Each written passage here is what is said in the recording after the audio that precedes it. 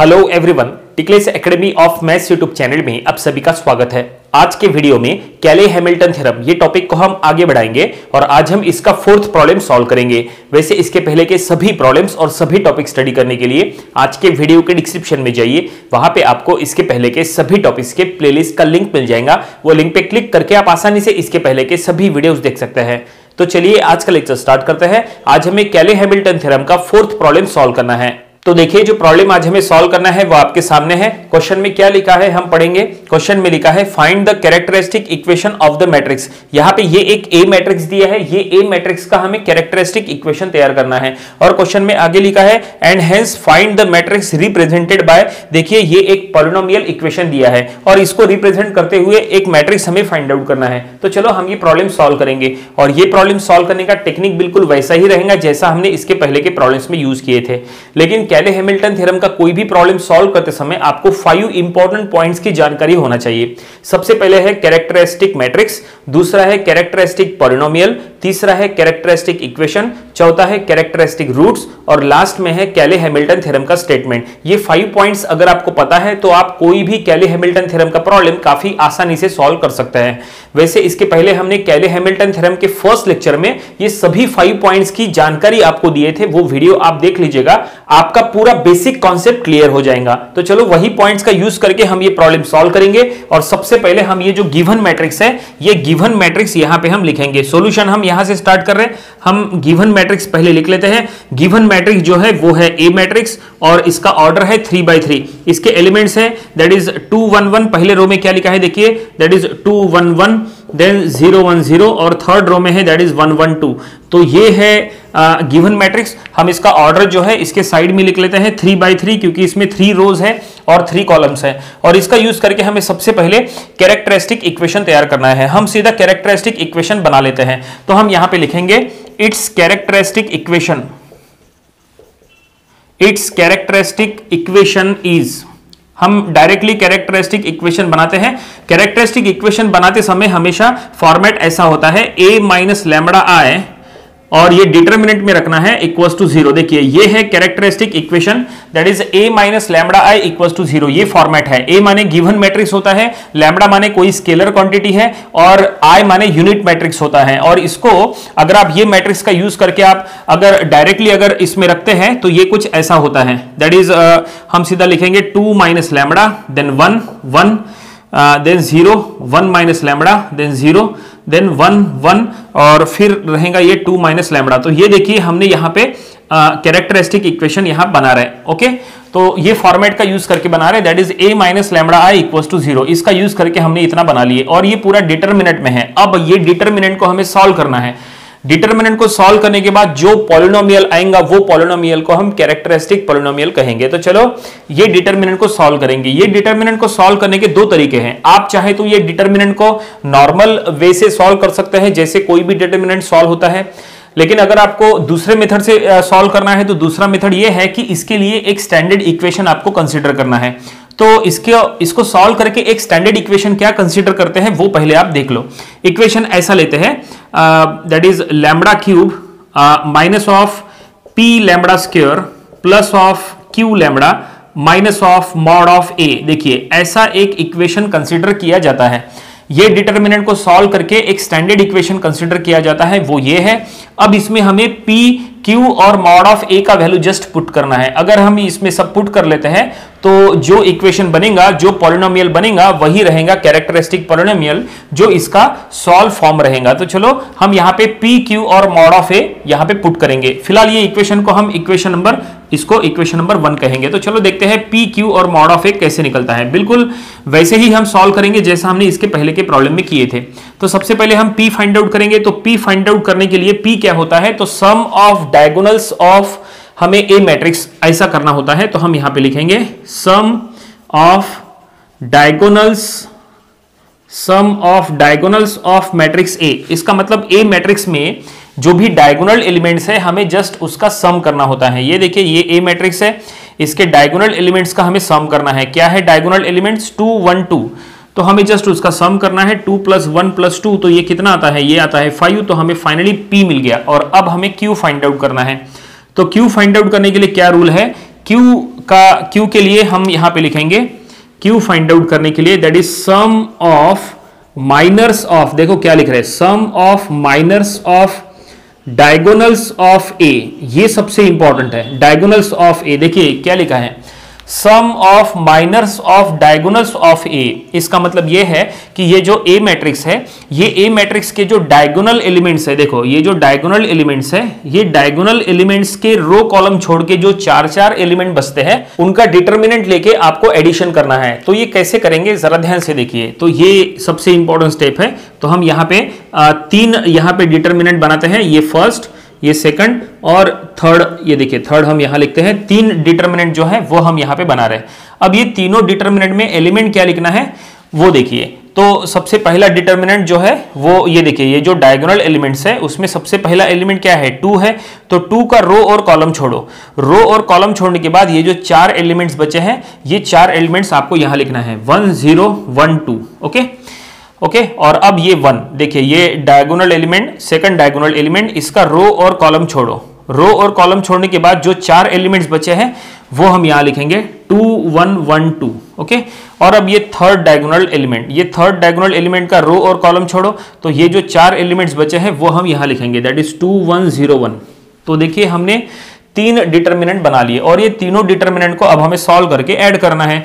तो ये cross multiplication करो तो ये हो जाएगा टू यहाँ पे होगा फोर माइनस वन तो ये हो जाएगा that is four minus one कितना? थ्री देन ये हो जाएगा टू माइनस ज़ीरो तो सीधा सीधा टू तो ये कितना रहेगा? Three plus two plus that is two तो ये हो गया सेवन तो फाइनली हमें क्यू मिल गया। क्यू कितना मिल गया? हमें क्यू मिल गया सेवन और अब हमें mod of A find out करना है।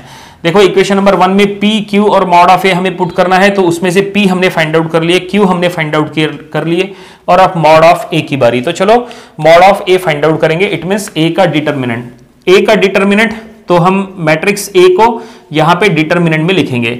आप चाहे तो डिटर्मिनेंट को डायरेक्टली कैलकुलेटर में सॉल्व कर सकते हैं। कैलकुलेटर में डिटर्मिनेंट का ऑप्शन होता है। आप उसका यूज़ करके डायरेक्टली सॉल्व कर सकते हैं। और अगर आपको मैनुअली सॉल्व करना है तो वो भी चलेगा। तो ये देखिए, हम यहाँ पे मैनुअली सॉल्व करेंगे इसका डिटर्मिनेंट तो देखते हैं कि ये क्या आता है। तो डिटर्मिनेंट अगर लेना है तो सबसे पहले हम टू से स्टार्ट करेंगे।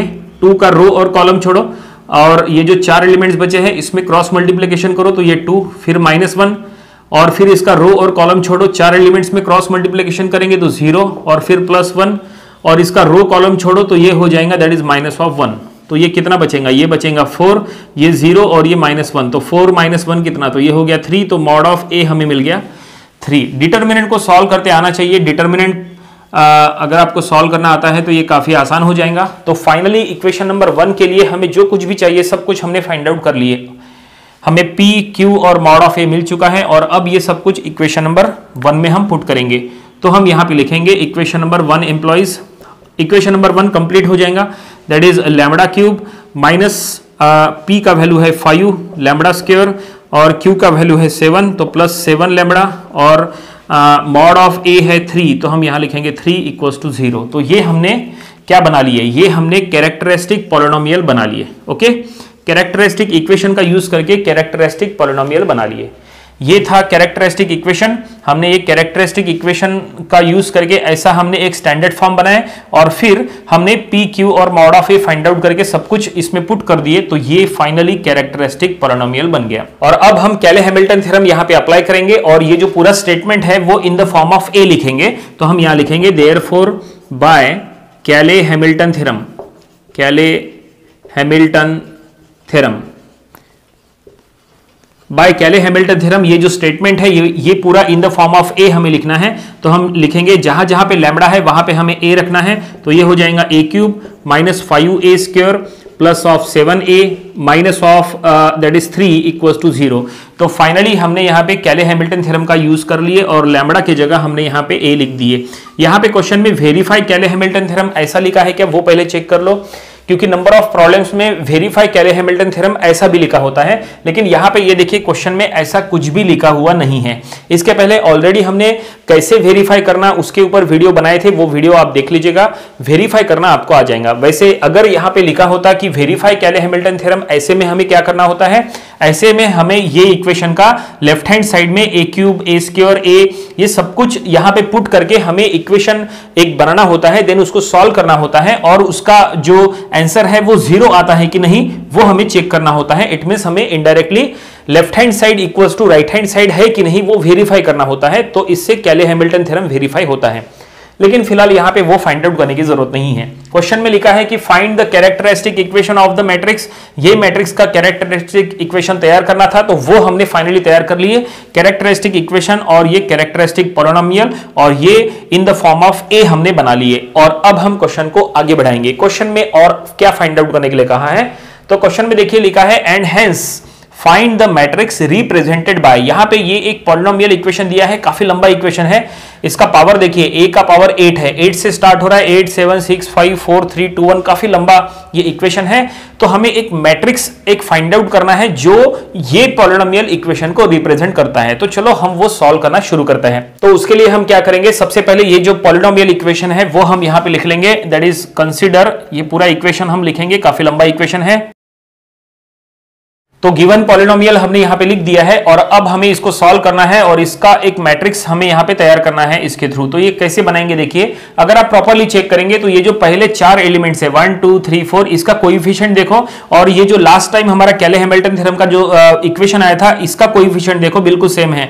ये देखो one minus five seven minus three तो यहाँ पे one minus five seven minus three तो हम एक काम कर सकते हैं, हम इसको ये फॉर्म में लेके आ सकते हैं। कैसे? हम एक काम करेंगे, ये चारों में से A to the power five common ले लेंगे। अगर आप A to the power five common लेंगे तो यहाँ A to the power eight में से A to the power five common निकल गया तो ये बनेगा ए क्यूब माइनस ऑफ़ ये हो जाएगा five A square plus of seven A और माइनस ऑफ़ थ्री ऐसा हो जाएगा। हमने ये चार टर्म्स में से कॉमन ले लिए। कौन से चार टर्म्स हम उसको यहाँ पे अंडरलाइन कर लेते हैं। देखिए, हमने ये चार टर्म्स में से कॉमन ले लिए। बाकी के जो रिमेनिंग टर्म्स है, वो हमें यहाँ इक्वेशन में एज इट इज़ लिखना है।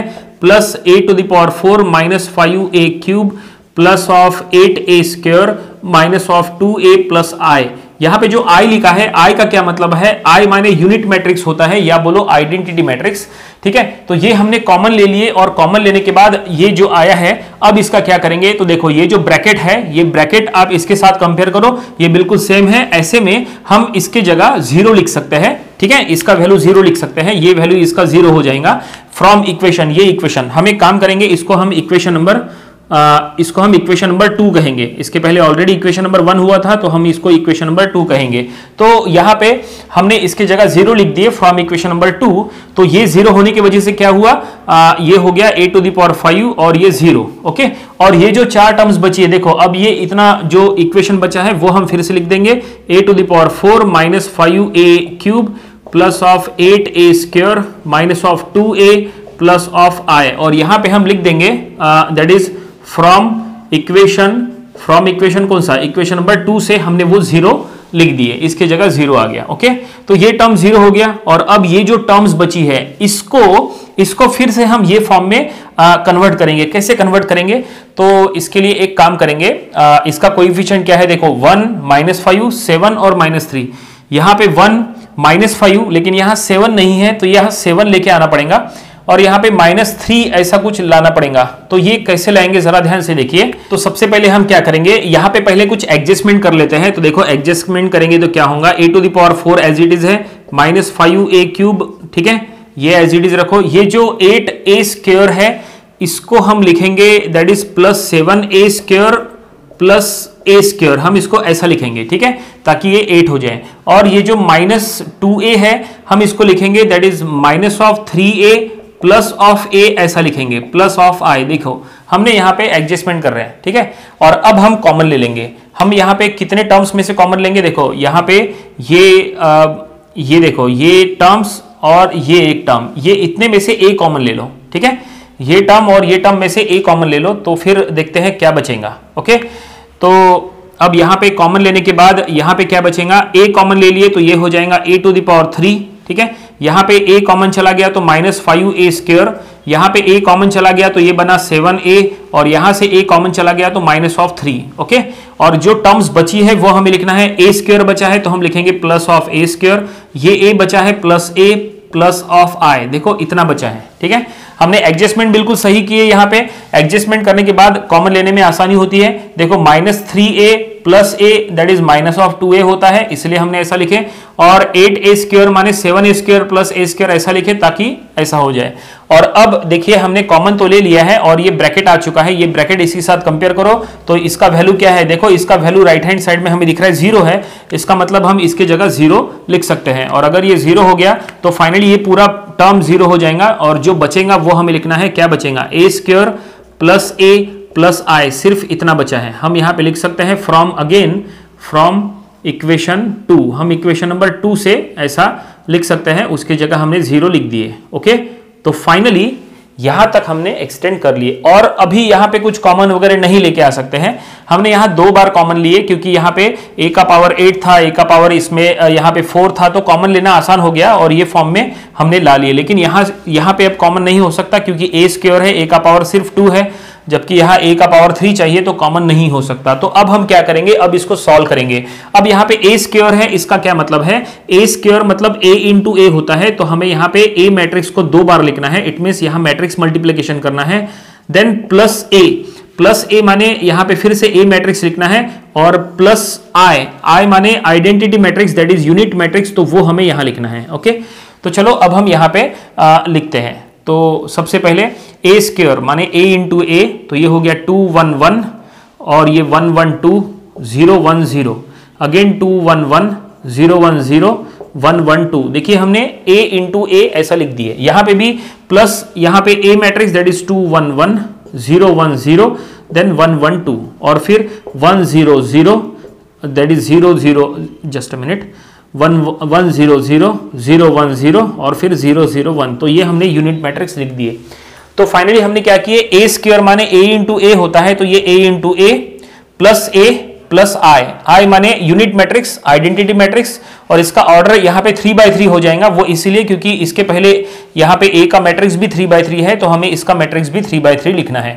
और अब हमें सबसे पहले ये दोनों मैट्रिक्स का मल्टीप्लीकेशन करना है। तो चलो देखते हैं मल्टीप्लीकेशन करने के बाद ये क्या होता है और मल्टीप्लीकेशन करने के बाद फिर हमें एडिशन करना है। तो सॉल्व करने के लिए यहाँ से हम कंटिन्यू करेंगे, ठीक है? और यहाँ से देखिए दोनों मैट्रिक्स का यहाँ पे मल्टीप्लीकेशन करना है तो रो इंटू कॉलम करना है। तो देखो हम आपको सिर्फ़ पहला रो बता देते हैं, क्योंकि बाकी तो फिर सॉल्व करना आसान हो जाएगा। तो रो इंटू कॉलम तो ये फोर ये टू इंटू टू ये four then one into zero तो ये zero then one into one तो ये हो गया वन तो ये क्या होगा? Four plus one that is five तो पहला एलिमेंट हो जाएगा ठीक है? पहला एलिमेंट हो गया फाइव देन नेक्स्ट यहाँ पे first row into second column करेंगे तो देखेंगे क्या होगा? रो इंटू कॉलम में तो ये हो गया two plus one plus one ठीक है? ये two into one then one into one one into one इस तरह से. तो ये कितना हो जाएगा? ये हो जाएगा फोर ठीक है? और नेक्स्ट एलिमेंट भी जो है, बिल्कुल सेम नेक्स्ट एलिमेंट भी फोर हो जाएगा, ठीक है? ओके क्योंकि यहाँ पे two into one two okay?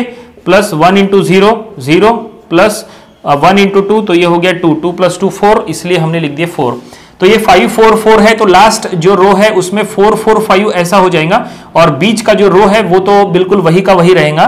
बीच का row that is one zero one sorry बीच का रो क्या है ज़ीरो वन ज़ीरो है तो हम लिखेंगे ज़ीरो वन ज़ीरो चलो, बीच का रो चेक कर लेते हैं। That is second row into यहाँ पे कॉलम हमें करना है सेकंड रो इंटू सभी कॉलम को करना है तो zero into two that is zero one into zero that is zero और zero into one that is zero तो ये ज़ीरो ओके देन यहाँ पे ज़ीरो इंटू वन ये zero one into one one zero into one that is zero तो ये सिर्फ़ one आएगा। तो इस तरह से यहाँ पे आप मैट्रिक्स मल्टीप्लीकेशन कर सकते हैं। तो दोनों मैट्रिक्स को हमने मल्टीप्लाई करके ऐसा बना दिए। और अब हम बाकी के जो मैट्रिक्स है, वो हम एज इट इज़ रखते हैं, ये दोनों। और फिर हमें एडिशन करना है। Two one one zero one zero और फिर that is one one two ऐसा।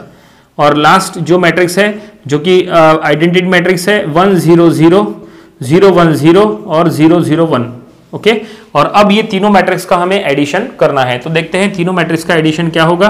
तो यहाँ पे five plus two plus one तो ये हो जाएगा eight four plus one that is five eight five five then last में फाइव फाइव एट हो जाएगा और बीच में रहेगा ज़ीरो और ये सभी एलिमेंट ज़ीरो है और लास्ट में भी zero one plus one plus one तो ये हो जाएगा थ्री तो इस तरह से ये हमने मैट्रिक्स फाइंड आउट कर लिए और ये मैट्रिक्स का ऑर्डर भी क्या है? इसका ऑर्डर भी थ्री बाय थ्री है. तो फाइनली क्वेश्चन में जैसा कहा था कि hence find the matrix represented by this polynomial तो ये पॉलिनोमियल को रिप्रेजेंट करते हुए हमने ये मैट्रिक्स बना लिए और प्रॉब्लम जो है वो यहीं पे कंप्लीट हो गया. उम्मीद करते हैं कि ये प्रॉब्लम आपको समझ में आया होगा. ये था कैली हैमिल्टन थ्योरम का प्रॉब्लम नंबर फोर इसके पहले जो हमने इसके थ्री प्रॉब्लम्स लिए थे, वो भी आपको स्टडी कर लेना चाहिए और इसके आने वाले वीडियोज़ में हम इसके और भी नंबर ऑफ़ प्रॉब्लम्स कवर करेंगे ताकि इसकी अच्छी खासी प्रैक्टिस हो जाए।